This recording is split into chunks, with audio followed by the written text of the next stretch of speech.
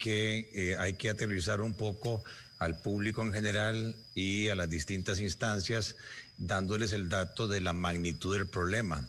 Los impuestos en Costa Rica equivalen a 9 mil millones de dólares, pero los gastos presupuestados equivalen a 20 mil millones de dólares. O sea, hay un faltante de 11 mil millones de dólares anuales. Es decir, que la plata del Fondo Monetario Internacional, que son 1.750 millones a ser desembolsados en tres años, es mínimo respecto al requerimiento financiero del gobierno central. Si no se quiere tocar impuestos, habría que despedir a todos los trabajadores del gobierno central, habría que cortar todas las transferencias sociales, educativas, poder judicial, y aún así la plata no alcanza porque eso equivale a 10 mil millones, faltarían mil millones. Entonces sí, claro, hay que entrarle a la parte del gasto, hay que entrarle al rediseño del Estado, hay que entrarle al tema de las transferencias, pero eh, no podemos pensar que ante esta situación, eh, por más que vendamos todas las joyas de la abuela, es imposible levantar 11 mil millones de dólares, que es el faltante anual. Don Gerardo, pero le, pregunto, si, si tenemos una propuesta que todo el mundo dice es desbalanceada, en donde el 80% viene por, por nuevos impuestos y el 20% apenas por un recorte, entonces, ¿qué significa tener una propuesta balanceada? ¿Qué significa eso? ¿Significa que van a ser menos impuestos, pero más recortes o más despidos en el sector público, más venta de activos? Concretamente, ¿qué le podemos decir a la gente para que tenga claridad, claridad en el sentido de que es equilibrado? Hay un documento público del Fondo Monetario Internacional que se llama el Staff Report de abril. Vinieron al país, hicieron un análisis y plantearon lo siguiente. El déficit primario, o sea, ingresos menos gastos antes de intereses, este año va a ser cuatro puntos del PIB y lo que queremos es que Costa Rica llegue en cuatro años, en el 2024, a un superávit de 2%. O sea, el ajuste es de seis puntos del PIB en cuatro años. Y el fondo recomendaba tres puntos por impuestos tres puntos por recorte de gastos y dos puntos por venta de activos estatales. Eso es una propuesta balanceada, no como lo que plantearon 85% impuestos, 15% gastos. Pero entonces eso significa que en esta nueva propuesta el gobierno estaría pensando en la venta de más activos estatales, aparte de, de FANAL y de, de VIXA. No, es que, eh, Douglas, el tema no es, no es económico, el tema es de voluntad política. No le quieren entrar al tema del rediseño del aparato estatal porque obviamente va a haber despidos, porque obviamente va a haber reducciones de salarios y porque obviamente hay que entrarle a la venta de activos más allá de VIXA y de FANAL. Pero como todos están pensando en el 2022, quién va a ser presidente, entonces nadie quiere asumir el costo político que ha sido el mismo cuento de todos los años y por eso estamos ahora contra la pared. No, no, es que ese es el gran tema. Aquí, de verdad que en este país tenemos rato de no ponerse, nadie se pone de acuerdo porque nadie quiere salir feo en la foto. Pero entonces yo tengo que preguntarle a Don Eli, ¿usted cómo quiere salir en esa foto, Don Eli? Eh, haciendo propuestas eh, para corregir el problema de fondo en vez de meter parches, Douglas, que no nos resuelven el problema. Puede ser que nos tapan el hueco por, por un tiempo, pero, pero ese neumático está reventado y hay que cambiarlo. Em, eh, no es cierto que, que, no nos hemos puesto de acuerdo. Hace un año y medio se aprobó una reforma fiscal que implicó una subida de impuestos importante y que contenía un elemento, ojo, no de recorte del gasto, sino de contención del gasto, eh, que era importante pero apenas se aprobó esa reforma, se le empezó a echar agua a la sopa de la contención del gasto. Eh, eh, finalmente se excluyeron a las municipalidades del cumplimiento de la regla fiscal mediante una ley especial. Eh, las universidades están haciendo su esfuerzo por zafarse del cumplimiento. El propio Poder Judicial, que será juez y parte en la decisión, quiere salirse del cumplimiento de la regla fiscal y al final de cuentas con lo que nos quedamos fue con la subida de impuestos pero del lado del recorte del gasto, eh, eh, eh, realmente, bueno, del recorte del gasto nada, de la contención del gasto una, una regla fiscal muy disminuida. Pero no entonces, es cierto que no nos ponemos de acuerdo. Don, nos hemos puesto de acuerdo. Pero es que eso ponerse de acuerdo es relativo, Don Eli, porque usted sabía y, todos estamos claros en que esa reforma fiscal en algún momento, incluso la exministra de Hacienda, doña Rocío Aguilar, ha dicho se tuvo que haber puesto un impuesto de valor agregado más alto. Es decir, esta reforma en una eh, tapaba una, era una curita, pero realmente mm, faltaba más. Y en eso yo creo que todos estábamos claros, faltaba más. Bueno, ahora, ahora tenemos una hemorragia abierta y lo que, quiere, y lo que se quiere hacer es ponerle otra curita eh, para, para taparla con un aumentazo de impuestos que lo que va a hacer es terminar de matar la actividad económica. Es que estas cosas es importante que las entendamos. Cuando usted tiene una economía en una profunda recesión como estamos hoy, cuando las cifras o las proyecciones oficiales son que la economía este año se va a contraer en un 5%, cuando lo más probable es que la contracción real sea del 7% o por ahí, eh, una subida de impuestos de 5 puntos porcentuales en los primeros dos años es realmente brutal y es va a matar la actividad económica. Entonces, la recaudación que el gobierno proyecta que va a obtener con esta subida de impuestos no se va a materializar. Lo que sí se va a materializar es la muerte de un montón de empresas, el, el, congelamiento de un montón de proyectos de inversión, la destrucción de un montón de puestos de empleo. ¿Y todo por qué? Por lo que señalaba Gerardo en su primera intervención, un gobierno que tiene ingresos, claro, las cifras que da Gerardo son eh, eh, ahora en, digamos, en tiempos de pandemia, eh, donde el gobierno, dice Gerardo, que tiene ingresos de 9 mil millones de dólares y gastos por 20 mil millones de dólares. esa no es la situación de siempre, pero la situación de siempre es un gobierno que tiene ingresos por 10 mil, 11 mil millones de dólares y gastos por 14 o 15 mil millones de dólares. Y, esto lo venimos arrastrando desde hace 12 años. La última vez que Costa Rica tuvo finanzas públicas equilibradas fue en el año 2008. Eh, y a partir de ahí hemos actuado como que, si, como, como que si nuestras decisiones y nuestras actuaciones no tuvieran consecuencias. Bueno, ahora estamos pagando las consecuencias de tantísima irresponsabilidad. Pero el problema se originó porque en el año 2008 y en el 2007 también, el gasto público representaba más o menos el 15% del PIB y los ingresos también representaban aproximadamente el 15% del PIB. Ahora, eh, para... Eh, viene, viene la crisis del 2009, se toma la decisión de incrementar el gasto público, disque para sortear la, la, la crisis, el gasto público en el 2009 pasa del 15 casi al 17 y en el 2010 al 19% y en la siguiente década se mantiene en el orden del 20% y el año pasado, antes de la pandemia y ya con reforma fiscal aprobada, el gasto se nos dispara a 21.7% del PIB. Me gustaría, Don Eli, Perdón, que lo interrumpa, pero me, gustaría eh, entrar en una, en una etapa de sí y no y que me digan por qué de forma concreta. Porque tal vez la gente, eh, a ver, la información que está recibiendo es tan amplia que, en este momento ya no saben ni qué es bueno ni qué es malo. Pero lo cierto es que todos estamos claros en que hay que buscar una solución y este es el propósito de esta conversación. A ver, les pregunto de forma concreta, ¿grabar transacciones sí o no? ¿Por qué? Gerardo. Sí, excluyendo las transacciones mayoritarias como retiros en cajeros automáticos, pagos con tarjetas de débito, pagos con tarjetas de crédito y Simpe Móvil, que es apenas el 5% de ese impuesto de transacciones financieras. Eli.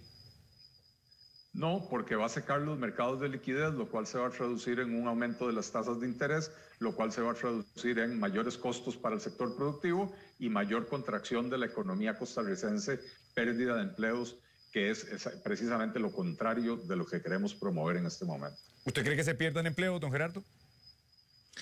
Es que si hubiesen muchas alternativas coincidiría con el IESER, pero de nuevo, si no es ese, el otro impuesto que habría que tocar por la dimensión es el IVA y el IVA es regresivo, afecta a los sectores de más bajos ingresos que ya están sumergidos sufriendo incluso situaciones de hambre, lo cual podría dar al traste con la estabilidad social y política y ahí ninguna empresa grande, pequeña o mediana puede ser exitosa y nadie puede tener empleo. Impuestos zonas francas, eh, Don Eli. No, en este momento sería un suicidio absoluto agarrar uno de los pocos sectores de la economía que se mantiene relativamente estable con un pequeño crecimiento, generando empleo eh, ponerle impuestos ahora cuando precisamente lo que queremos es atraer a, muchas empresas que estando ubicadas en Oriente se han dado cuenta de que necesitan estar más cerca de sus mercados neta o de sus casas matrices en Norteamérica eh, y que para eso Costa Rica está posicionado en, un lugar eh, ideal. Eh, no es el momento para estar discutiendo eso. Don Gerardo. Para nada, porque sería tirar a 150 mil personas empleos directos y 80 mil empleos indirectos a una situación más grave creyendo que supuestamente las empresas en zona franca con más impuestos se van a quedar aquí tranquilas cuando todos sabemos que el mundo está abierto y que Panamá acaba de aprobar una ley de atracción de inversión extranjera directa con incentivos más competitivos. Sí. ¿Venta de empresas estatales, sí o no? Empiezo por usted, Don Eli. Definitivamente sí, pero primero hay que poner el gasto público en orden. Eh, porque si no ponemos el gasto público en orden y empezamos a vender empresas estatales, lo que vamos a hacer es usar ese dinero para eh, financiar el gasto eh, deficitario. Y lo que necesitamos es usar ese dinero para amortizar la deuda pública de manera que se baje la cuenta de intereses que paga el gobierno. En el presupuesto de este año, pre-pandemia, ya había un 42% del presupuesto que se destinaba al servicio de la deuda dejando muy poquito dinero para atender las necesidades de la población. Eh, ¿Cuáles? Tenemos que vender las, entidades, las empresas que están en los mercados que la OCDE ha señalado que, que carecen del suficiente nivel de competencia y que por eso se traducen en mayores precios para el público y mayores costos de producción. Pero, pero, pero usted no vende, Don Eli, usted no vende, usted no hace una, una venta en las peores condiciones. Es decir, vender ahora podría salirnos más caro porque están negociando muy por debajo de lo que realmente podría costar. Pero lo primero que dije es, sí, definitivamente sí, hay que venderlas, pero primero hay que poner en, en, orden el gasto público. Entonces, para cuando se materialicen esas ventas, ya esperamos que la economía haya empezado a, repuntar y que entonces podamos salir al mercado a venderlas en bastante mejores condiciones. ¿Usted, don Gerardo, qué opina? Sin duda sí, porque hay que amortizar la deuda. Y la propuesta del gobierno supone eso, amortizar deuda, pero lo hacen con impuestos. Yo creo que la venta de activos estatales, nada le pasa a este país si nos quedamos en vez de tres bancos estatales con dos nada le pasa a este país si parte de la cartera comercial de Links eh, se vende. Nada le pasa a este país si eh, parte de negocio de Colby eh, se vende. Eso amortizaría la deuda cerca de un 15-20% y nos ahorraríamos anualmente cerca de 1% del PIB en pago de intereses, siempre y cuando esos recursos extraordinarios que se dan por una sola vez vayan directamente a amortizar deuda, no a financiar más gasto corriente, porque se vendieron las joyas de la abuela y es como echarle agua a un canasto. Estoy, estoy totalmente de acuerdo con eso, eh, don Gerardo. Ahora, eh, para ir concluyendo, impuesto a cooperativas, eh, don Eli. Otra vez más, en este momento no. Yo, yo soy de los que cree que las cooperativas tienen que pagar impuesto como todas las demás empresas. Esa, esa ficción de que ellos no generan utilidades, generan excedentes. Bueno, yo les tengo noticias. La fórmula matemática es exactamente la misma. El excedente es la diferencia entre los ingresos y los gastos. Las utilidades son la diferencia entre los ingresos y los gastos. Entonces, el nombre que le pongan es, es, es ficticio. Eh, pero en este momento donde la economía está en una situación tan precaria, ponerle ese impuesto a las cooperativas hoy es asesino de la actividad y suicida para la economía costarricense. es un tema que hay que discutir, sí, cuando estemos en una mejor condición económica. Yo lo haría ya. Esta es la gran oportunidad. Hay que tomar las acciones ya. El COVID nos llevó a esta situación. Yo creo que la ventana de oportunidad de impuestos a una serie de entidades que están exentas de venta de activos estatales, de rediseño del aparato estatal, hay que hacerlo ya. Se lo puedo asegurar. Una vez que pase el COVID y pase esta crisis, volvemos a las campañas políticas tradicionales, a todas las argollas que hay dentro de ciertos grupos de interés y se nos fue la oportunidad y de nuevo estaríamos pensando en impuestos sobre el sector productivo. Finalmente, ya para concluir, despidos en el sector público, porque si ustedes me dicen que nadie quiere entrarle al tema, entonces lo que le queda que al gobierno es despedir eh, colaboradores del sector público, Don Eli. Eh, yo he dicho en varias ocasiones que el, principal problema de, la, de la planilla estatal no es el tamaño de la planilla, sino su costo. Cuando nos comparamos con los países de la OCDE en términos de la cantidad de empleados como proporción de la fuerza laboral, Costa Rica está en el tercio inferior de la tabla. Cuando vemos, nos comparamos en términos del costo de esa planilla como proporción del PIB, Costa Rica está entre los tres o cuatro países eh, con la planilla más cara de toda la OCDE. Entonces, es, ahí es donde está la distorsión. Y por eso la ley de empleo público es vital. No se trata de despedir empleados, se trata de moderar esas, esas remuneraciones. Y en primer lugar, la ley de empleo público con el salario global se tiene que aplicar de manera que aquellos funcionarios que ya tienen una remuneración superior a lo que sería su salario global, hay que congelarles el salario. No puede ser que continúen acumulando eh, eh, anualidades y otros pluses. Y a los funcionarios cuyos ingresos están por debajo del salario global, sí hay que mantenerlos en el régimen actual, recibiendo las anualidades hasta que alcancen el nivel del salario global para evitar un incremento del gasto ahora. Ahora sí hay que hacer reforma del Estado y fusionar empresas y cerrar, eh, perdón, fusionar ministerios y, y, entidades, cerrar instituciones superfluas que no cumplen hoy ninguna función y probablemente sí, algunas personas van a perder su empleo, pero no tiene que ser un, un despido masivo de funcionarios. Don Gerardo. De, yo sinceramente creo que hay que hablarle con transparencia al pueblo. De cuando usted tiene una situación que de los gastos totales solo el 45% se cubre con ingresos, yo en mis tiempos de VAC, de, lamentablemente duele muchísimo, pero hay que sentar y hacer un listado y sobre todo los quintiles de ingresos altos. Hay una serie de elefantes blancos ganando salarios de 3 millones, 4 millones, 5 millones. 10 millones. Usted ponía Usted pone ahí un líder sindical hablando y claro, está defendiendo la UBRE, son tres millones, tres millones y medio desde hace años, sin mayor contribución, sin mayor productividad.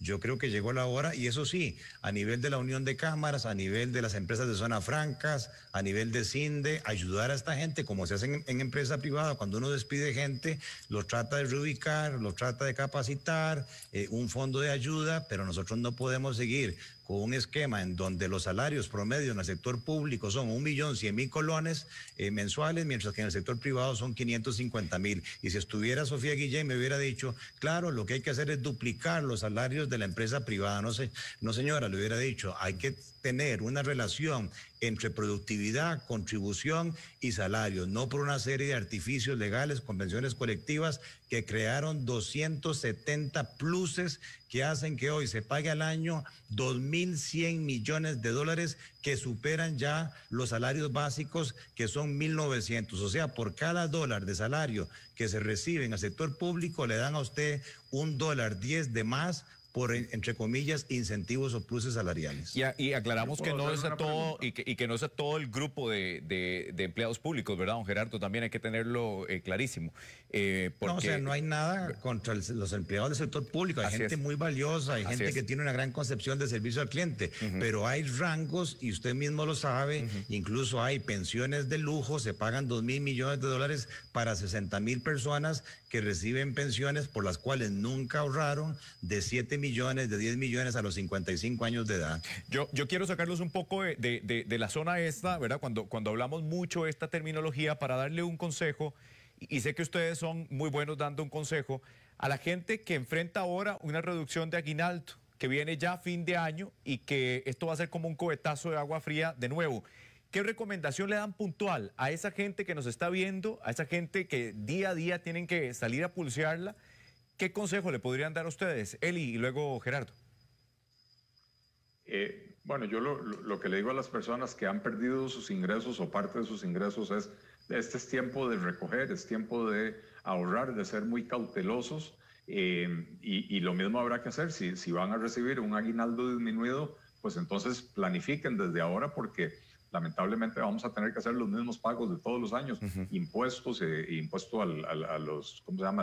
El, impuesto al ruedo, a los del marchamo, etcétera, ¿verdad? Entonces hay que planificar y hay que eh, eh, ahorrar y recoger. Este no es tiempo de, estar haciendo gastos innecesarios, ¿verdad? pero yo sí quisiera decir, en referencia al último que dijo don Gerardo, ¿a dónde vamos a colocar a decenas de miles de funcionarios públicos si los despedimos hoy? En un sector privado que está básicamente apagado y que con una escalada de impuestos de 5 puntos porcentuales del PIB va a terminar de matar a ese sector ah, privado. pero, pero ahí tenemos millones y millones y millones de colones en, miles de millones en banca para el desarrollo. Ahí están guardados. Entonces, ¿qué ponemos a la gente a producir? ¿A qué? Pero lo que no han entendido los banqueros, sobre todo los banqueros centrales de este país, es que el problema no es de disponibilidad de fondos. Vea que el año pasado, antes de la pandemia, bajaron el encaje mínimo legal, liberaron 600 mil millones de colones que eran para colocar en actividad productiva y no hubo demanda. Menos demanda hay ahora. ¿Quién va a demandar recursos para ampliar procesos productivos? La gente ahora está demandando recursos para rescates. Bueno, pero la gente también se ha reinventado, Don Eli. Hay, mucha gente que se ha reinventado y que de una necesidad hacen una gran idea y tiene una enorme creatividad y el costarricense es creativo por naturaleza, pero también yo coincido con usted, cuesta. Pero, don Gerardo, su consejo final. Bueno, este, ah, en cuanto al tema que menciona Eliezer, obviamente hay que, hay que trabajar numerador y denominador. Yo he venido insistiendo desde marzo en un War Economic Room, en la creación de un cuarto eh, pensando solamente en reactivación económica, en medidas, por ejemplo, de reducción de tarifas eléctricas, de reducción de tarifas de APM Terminal, de un Fondo Nacional para Vivienda, y eso genera empleo. O sea, definitivamente hay que ayudarle a la gente, pero la gente necesita eh, esa generación de confianza. Yo lo que haría a nivel de las familias es reunir a todos y decirles, estamos en una situación de crisis. Claro, esto no es permanente, esto es una cuestión que va a ser transitoria. Y en una cuestión de crisis, todas las familias revisan sus presupuestos, que es lo que yo hubiese hecho como presidente de este país, reúno a todo mi gabinete y les digo, ¿saben qué? Revísenme en esos presupuestos, esos 20 mil millones de dólares de pies a cabeza, ya no hay viáticos, no hay viajes al exterior, ya no hay publicidad, ya no hay gastos confidenciales, recórtenme en ese montón de gastos excesivos porque estamos en una situación de crisis y como una familia también, bueno, hay que vender el carro, nos vamos a empezar a mover en bus, hay que mover la casa, vender la casa, pasarnos a un apartamento, alquilar, con eso amortizamos deuda, eh, es lo mismo. Y sí, transformarse, innovar, no desmotivarse, sino, sino, que hay que empezar a ver qué oportunidades hay, pulsearla, salir a la calle, eh, como familia todos, para ver eh, cómo se puede sostener esta coyuntura mientras se logra recuperar el aparato productivo. Señores, les agradezco la entrevista. Hay muchísimos comentarios, nos quedamos cortos, pero es que estamos analizando también el caso de Alison Bonilla. Pero le agradezco, don Eli, también don Gerardo. Que la pasen muy bien. Hasta luego, gracias. Gracias a ustedes.